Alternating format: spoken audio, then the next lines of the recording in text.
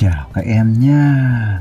Chúng ta lại tiếp tục gặp nhau trong bài số 18 Luyện tập Bài số 1 Trang 59 60 Sách giáo khoa, môn toán lớp 6 tập 1 Và các em nhớ, Đây là tập 1 nhá Rồi, và bây giờ như thường lệ, Các em đã sẵn sàng tâm lý để chúng ta làm bài chưa? Nếu mà sẵn sàng rồi thì nhớ là có nè giấy nháp, có cuốn tập hay là cuốn vở ghi nhớ và em nào có điều kiện thì chúng ta có cái máy tính Casio để chúng ta làm bài nha. Rồi, và bây giờ chúng ta sẽ cùng nhau vào bài thôi. Chiu. Đó, bài của chúng ta này. Bài số 1 này. Tìm cái số tự nhiên A nhỏ nhất mà khác không. Đó, các em chú ý nhé, cái điều kiện họ cho những cái dạng toán này thì chúng ta cần phải ghi vào trong cái cuốn tập hay cuốn vở ghi nhớ để chúng ta ôn tập chương cũng như là gì? Kiểm tra giữa kỳ 1 rồi là kiểm tra cuối học kỳ 1 được chưa? Số tự nhiên A nhỏ nhất khác không? Đó, biết rằng này, A này chia hết cho 15 và A chia hết cho 18 đó, vậy thì trong trong cái bài trước là bài về ước chung lớn nhất thì thầy cũng đã hướng dẫn cho chúng ta rồi nếu nè nếu 15 mà chia cho hết cho A, hoặc là gì 17 gì đó chia hết cho A thì cái này chúng ta lại tìm là gì? Ước chung lớn lớn nhất, nhá. Nhưng mà ở đây chúng ta lại thấy là gì? A lại chia hết cho 15 tức là gì? A này đứng trước. Thì khi mà đứng trước như này thì chúng ta sẽ là bội chung nhỏ nhất nhé đó đấy, một lần nữa thầy nhắc lại để chúng ta phân biệt khi nào chúng ta tìm ước chung và khi nào chúng ta tìm bội chung. Đó bởi vì sao? Vì chúng ta kiểm tra giữa học kỳ hoặc là chúng ta kiểm tra cuối học kỳ nó sẽ có những cái dạng toán như thế này thì các bạn phải phân biệt được đâu là tìm ước chung và đâu là tìm bội chung. Được chưa? Rồi bây giờ thầy sẽ không linh tinh liên thuyên nữa chúng ta sẽ tiến hành vào cái bài số 152 này nhá à, chúng ta thấy nè. Theo bài ra đó, thầy hướng dẫn cho các bạn cách lập luận cho chặt chẽ luôn nha theo bài ra ta có này đó, chúng ta có hai cái dữ kiện như, như sau. A chia hết cho 10 15 và a này cũng lại chia hết cho 10 18 đúng không? Đấy. Vậy thì ở đây thực ra với dữ kiện này thì chúng ta biết ngay do đó là gì? Do đó A sẽ là bằng với bội chung nhỏ nhất đúng không? A sẽ là bội chung nhỏ nhất của 10 15 với lại 10 18 được chưa? À, vậy thì giờ các em đi tìm thôi. Vậy thì cái cách tìm bội chung nhỏ nhất thì trong cái bài số 18 này ở tiết đầu tiên là chúng ta đã làm rồi đúng không? Ta có rất là nhiều cách ở đây thì thầy làm cho chúng ta là cái cách thủ công ba bước, đúng không? Bước thứ nhất, ta phân tích ra thử số này. 15 thì sẽ bằng bao nhiêu? Sẽ bằng 3 nhân nhân 5 18 bằng mấy? 2 nhân với 9 đúng không? 9 ở đây sẽ là 3 mũ mũ 2 được chưa? Bây giờ chúng ta sẽ thống kê các thừa số chung. Ở đây chỉ có số chung đấy là gì? 3 đúng không? Sau đó đến các thừa số riêng là 2 đến 5 mũ lớn nhất của 3 ở đây là gì? Là 2 này. Đó. Vậy thì bội chung nhỏ nhất của 10 15 với 18 sẽ sẽ bằng này. Được chưa? Đấy, vậy thì 3 mũ 2 thì chúng ta biết rồi, đây sẽ bằng 9 nhân với 2 mũ 5 sẽ là 10 vậy thì ở đây sẽ bằng 9 90 đó. Vậy thì sau khi chúng ta tìm đây chúng ta sẽ kết luận vậy. A sẽ bằng bao nhiêu? 9 90 được chưa? Đó. Còn nếu mà em nào muốn bấm máy tính, khi mà chúng ta thực hiện đến đây, thì chúng ta có thể bấm máy tính để chúng ta chúng ta dò được ngay kết quả, đúng không? Đó, đây là bộ chung này. Alpha chia, đúng không? 15 này ship phải 18 đóng ngoặc lại bằng. Đó, vậy thì đây sẽ bằng gì 90 được chưa? Đấy, vậy thì đây là cái cách chúng ta dùng máy tính để kiểm tra kết quả trước khi mà các em nộp bài, được chưa? Rồi, bây giờ chúng ta sẽ đến với bài tiếp theo, bài 153 đó, khi em học thì các em sẽ được kết hợp dùng cả máy tính nhé máy tính là khi chúng ta thực hiện những cái bài toán mà thầy cô bắt buộc phải tính nhanh hoặc chúng ta giải ở trên mạng ấy. tức là chúng ta thi là toán vi olympic hoặc là chúng ta giải toán bằng tiếng anh. Đó, thì chúng ta nên dùng máy tính thì bấm nó sẽ nhanh hơn. Rồi tìm các bộ chung nhỏ hơn 500 nhớ là bộ chung này nhỏ hơn 500 nha. Của hai cái số là 30 và và 45 này. Vậy thì đây chính là đây chính là cái mục số 3 này, này trong cái bài 18 này. Cách tìm bộ chung thông qua tìm bộ chung nhỏ nhất. Đó, nếu em nào chưa rõ thì xem cuốn tập cuốn vở mình có ghi cái này không? Và hoặc là chúng ta đọc ở đây được chưa? Rồi vậy bây giờ để giải cái bài này thì chúng ta sẽ tiến hành thầy để cái giấy đây cho chúng ta không bị phân tâm bởi những cái con số ở phía trên thôi. Đó, chứ không có cái gì hết được chưa? Rồi vậy thì trước hết chúng ta sẽ tìm nào chúng ta nhớ nè, nhớ là bộ chung này là những cái số mà nhỏ hơn 500 chúng ta mới lấy nha. Được chưa? Nhớ nha. Rồi, vậy thì bây giờ chúng ta sẽ tuần tự đi làm thôi. Được chưa? Ta sẽ phân tích số 30 ra này. 30 sẽ bằng 6 x 5 đúng không? 6 thì bằng 2 x 3 nhân nhân 5 45 này thì sẽ bằng mấy? Bằng 9 x 5 đúng không? Tức là 3 mũ 2 nhân nhân với 5 được chưa? Rồi, vậy thì chúng ta sẽ dễ dàng tìm được bộ chung nhỏ nhất. Đây là đang bộ chung nhỏ nhất nha. Ta chưa tìm được được cái cái bộ chung nhỏ hơn nha. Chúng ta phải tìm bộ chung nhỏ nhất sau đó mới tìm đến gì đến bộ chung. Được chưa? Bộ chung nhỏ nhất của 30 và 45 này. Đó. Sẽ bằng gì? Sẽ bằng thừa số chung. Đây là 3 này tiếp theo, các thừa số riêng 2 5 vậy thì 3 ở đây, số mũ lớn nhất là số 2 vậy thì ở đây bộ chung nhỏ nhất của 30 và 45 sẽ là 90 được chưa? Rồi, vậy bây giờ chúng ta sẽ đi tìm bộ chung của 90 đó. Ta có nè, bộ chung là của số 9 90 được chưa? Bộ chung của 90 thì sẽ bằng các cái chữ số này sẽ bằng các cái tập hợp như sau ta chỉ việc gì? Nhân lên thôi. 90 nhân với 0 thì bằng 0 nè. 90 nhân 1 thì bằng 9 90 nè. 90 nhân với 2 thì bằng 180 80 90 nhân 3 thì bằng 270 90 nhân 4 thì bằng 360 60 đúng không? Rồi 90 nhân 5 thì bằng 450 90 nhân với 6 thì sẽ bằng 540 90 nhân 7 thì sẽ là 630 90 nhân 8 thì sẽ là 720 90 nhân với 9 thì sẽ bằng 810 vân vân. Được chưa? Vậy thì ở đây đề bài họ họ yêu cầu mình là gì? Tìm cái bộ chung nhỏ hơn 5 500 đúng không?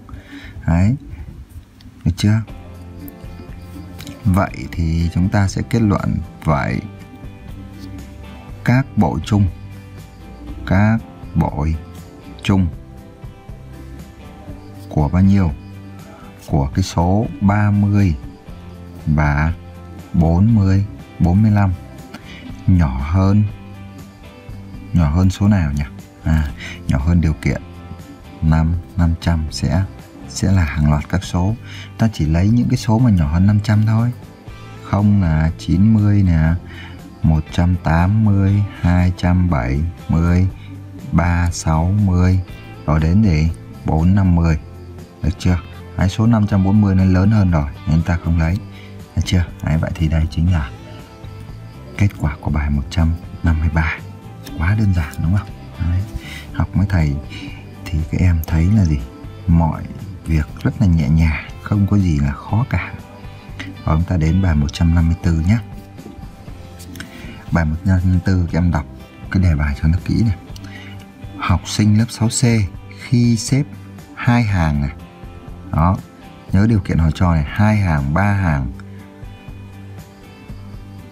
Tức là gì? Xếp hàng 2, hàng 3, hàng 4, hàng 8 đều vừa là hết. Tức là gì? Cái số học sinh của lớp này này giờ chúng ta chưa biết là bao nhiêu.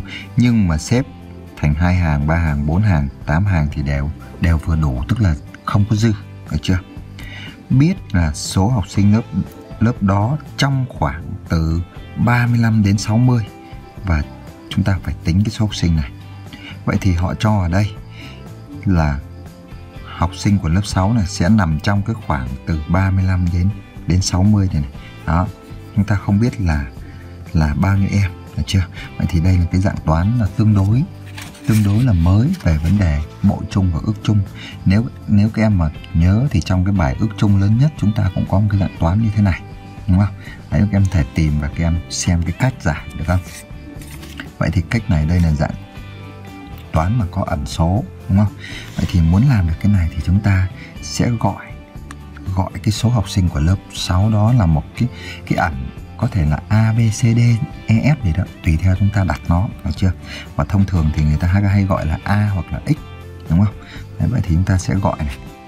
Gọi A là số học sinh của lớp 6C học sinh của lớp 6C đó. Với cái điều kiện này chúng ta phải có với điều kiện nha. Với các cái điều kiện. Tức là gì? Khi xếp hai hàng thì cái số A này này nó phải chia hết được cho hai. Đúng không? A này khi xếp ba hàng thì nó sẽ chia hết được cho cho ba. Và A đây nè, xếp 4 hàng thì nó phải chia hết được cho 4 và A này khi xếp thành 8 hàng, nó cũng chia hết được cho cho 8. Vậy thì đây là cái điều kiện chung của A. Và một điều kiện nữa của A đó là gì số A đây nè. Nó sẽ nằm trong cái khoảng từ 35 đến gì đến 60 đúng không? Tức là gì? Nhỏ hơn, à, lớn hơn hoặc bằng 35 và nó phải nhỏ hơn hoặc bằng 60 được chưa? Đấy, vậy thì đây là cái điều kiện và cái toán này thì chúng ta đã thực hiện rồi nhé. Rồi vậy bây giờ chúng ta làm cái này thì chúng ta sẽ thực chất đây chúng ta sẽ là tìm gì? Bộ chung nhỏ nhất của 2, 3, 4 và và 8 thôi. Đúng chưa? Đấy, vậy thì giờ chúng ta bài toán trở nên quá đơn giản rồi đúng không? Đấy, vậy giờ chúng ta sẽ phân tích ra này. 2 này. 2 thì bằng 1 nhân với 2 thôi. Đúng không? Số 3 thì cũng bằng 1 nhân 3. Đó, 4 này cũng bằng 1 nhân với 4 và 8 này thì sẽ bằng mấy? 4 thì chúng ta bằng 2 mũ 4 đi nhá. 2 mũ 2 chứ. 4 nó bằng 2 mũ 2 này. 8 thì chúng ta bằng 2 mũ gì? 2 mũ 3. Được chưa? Rồi, vậy thì giờ chúng ta sẽ tìm được bội chung nhỏ nhất của này 2, 3, 4 và và 8 đó sẽ bằng các cái số này chúng ta thấy đây có cái số nào số chung không chả có số nào chung hết đúng không vậy thì đây chúng ta sẽ liệt kê các cái số ra thôi. Sẽ có các số là một này hai này ba này đúng không? Chỉ có ba số thôi. Một thì mũ nhỏ nhất là một, hai đây là mũ gì? Mũ mũ ba, đúng không? Đó, và ba thì không có số mũ. Vậy thì đây nó sẽ bằng mấy nhỉ? 2 mũ 3 đây bằng mấy? 1 nhân 8 nhân nhân với 3. Vậy thì nó sẽ bằng số bao nhiêu? Sẽ bằng 20 24. Được chưa? Rồi, vậy bây giờ chúng ta đã tìm được bộ chung nhỏ nhất của ba cái số này rồi. Bây giờ chúng ta chỉ đi tìm bội của 24 thôi. Được chưa? Ta lập luận nhá. Theo bài ra theo bài bài ra thì chúng ta có số A này sẽ thuộc gì? Thuộc bộ chung của của bao nhiêu? Của 2, của 3, của 4 và của của 8. Hay nó chính là bằng gì?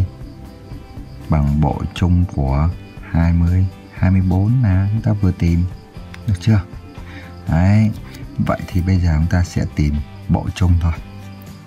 Vậy hay là chúng ta có này ta có này bộ chung của 24 này hộ chung của 24 này sẽ bằng này.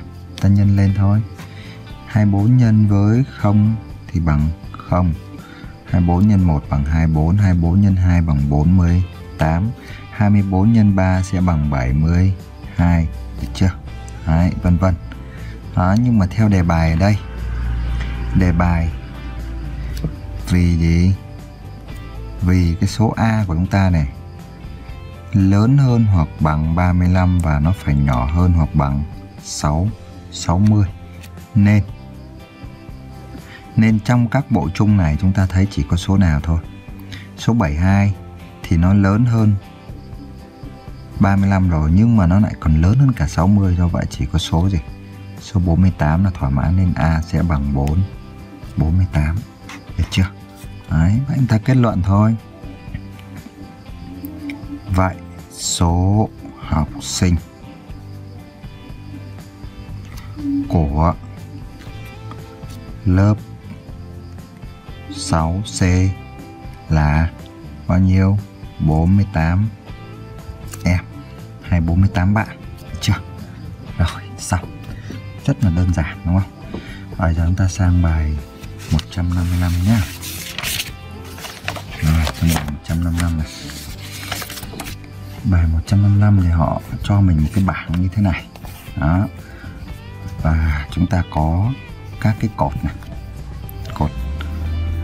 Đó. Chưa? Và có các hàng này. Đấy, vậy thì ở đây chúng ta nhìn người ta làm theo mẫu này. Tìm ước chung lớn nhất của A và B. Đó, tức là ở đây họ đã làm ước chung lớn nhất của A và B. Vậy thì bây giờ các em làm cái này thì nếu các em phân tích theo từng cái bước thì sẽ rất là lâu đúng không? Bây giờ chúng ta có thể dùng máy tính rất là ngon lành. Nhớ ước chung nha. Ước chung thì cách làm là chúng ta cũng phân tích ra thừa số và các bạn xem lại nha. Ước chung thì chúng ta bấm máy tính nè. Alpha ước thì sẽ là lớn nhân này. Được chưa? Đúng chưa? Đấy thì chú ý nha. Alpha này, nhân này. Đấy, ước chung của A và B tức là của 6 và gì? Và 4 ta nhập thôi. 6 ship 4 này. Đó. Đấy thì họ đã tìm được đây là số gì? Số 2 này, được chưa? Tương tự như vậy thì bộ chung của A và B thì là số 12, được chưa? Ước chung của A và B nhân với bộ chung nhỏ nhất của A và B tức là sẽ bằng 2 nhân với 10, 12 thì bằng 24 và số A nhân với số B này, tức là 6 nhân 4 sẽ bằng 24 này, được chưa? Rồi bây giờ chúng ta sẽ làm theo cái mẫu này nhá. Bây giờ chúng ta sẽ tìm ước chung lớn nhất của 150 và 20 này. Đó, các em nhìn thầy làm trên máy tính, được chưa? Đó, nếu không có máy tính thì các em có thể tính tay, tính thủ công, được chưa? Ước chung này. Ước chung của 150 Được chưa? 150 và 20 này. Đó. Vậy chúng ta sẽ có kết quả ở đây sẽ bằng số mấy đây? Sẽ là số 10 nha Được chưa? Các em tính thủ công nhưng có ra đúng bằng 10 không? Rồi, xong. Bây giờ bội chung của A và B tức là của 150 với 1 với lại 20 này. Bộ chung nha. Bộ thì lại là số chia nhá. Đó. 150 và 20. Đó, vậy thì đây bộ chung sẽ là số mấy? 300. Được chưa? Đó. Bây giờ ước chung nhân với bộ chung tức là sẽ lấy gì? 10 nhân với 3 300 10 nhân với 300 thì sẽ bằng 3 gì các em nhỉ? Thêm một số 0 thôi Sẽ là 3.000 Rồi Và 150 nhân với 20 Tức là A nhân B thì cũng sẽ là bao nhiêu? 3 3 nghìn. Đó, quá dễ. Được chưa? Xong. Tương tự như vậy thì chúng ta sẽ tìm các cái cột còn lại. Này, của 28 với lại 15 này ước của 28 với 15 ước chung lớn nhất này 28 10 15 này đó sẽ bằng mấy? Bằng 1 này được chưa? Rồi giờ bộ chung này bộ chung nhỏ nhất của 28 này với lại 10 15 này đấy, lại bằng 420 nhá rồi 4 2 10 rồi, và bây giờ, ước chung lớn nhất nhân bộ chung lớn nhất. Bộ chung nhỏ nhất sẽ là 420 nhân 1 sẽ là 420 rồi A nhân B tức là 28 nhân 15 28 kem nhân với 10 15 đó, cũng bằng 4 2 10 được chưa? Rồi, tương tự như vậy thì ở câu này 50 50 thì chúng ta sẽ có này. Ước chung lớn nhất của nó sẽ là số 5 50 bội chung nhỏ nhất cũng sẽ là 5 50 ước chung lớn nhất nhân với bộ chung nhỏ nhất. 50 nhân với 50 thì sẽ bằng 2 nghìn 5 500 được chưa? Tương tự như vậy thì đây cũng sẽ bằng 2 nghìn 5 500 Được chưa? Rồi, chúng ta đã xong về cái bảng này. Tức là chúng ta đã làm xong câu câu A. Rồi nhá. Bây giờ câu B nè. Câu B thì họ bảo mình cái gì? So sánh tích của ước chung lớn nhất A và B nhân với bộ chung nhỏ nhất với tích của A và B. Tức là gì? Chúng ta so sánh cái hai cái hàng ngang dưới này. Chúng ta thấy đều làm sao? À, ta kết luận một cái là gì? Như vậy thì tích tích của ước chung lớn nhất được chưa? Của số A, số B nhân với bộ chung nhỏ nhất của A và B sẽ bằng với bằng với gì? Bằng với tích của A nhân nhân B. Đó, được chưa? Rồi, như vậy thì đến đây chúng ta đã thực hiện xong cái bài luyện tập số 1 của bài 18 và các em nhớ trước khi chia tay thì chúng ta đừng quên chia sẻ video và giới thiệu kênh của chúng mình đến các bạn đang học ở trong lớp nha. Bởi vì sao? Đây là kênh hoàn toàn miễn phí. Ngoài ra thì trong kênh của chúng ta cũng có cái chương trình tiếng Anh. Đó, và thầy sẽ luyện tập cho các em Casio theo từng cái dạng bài như thế này. Rồi, và bây giờ chào các em nha.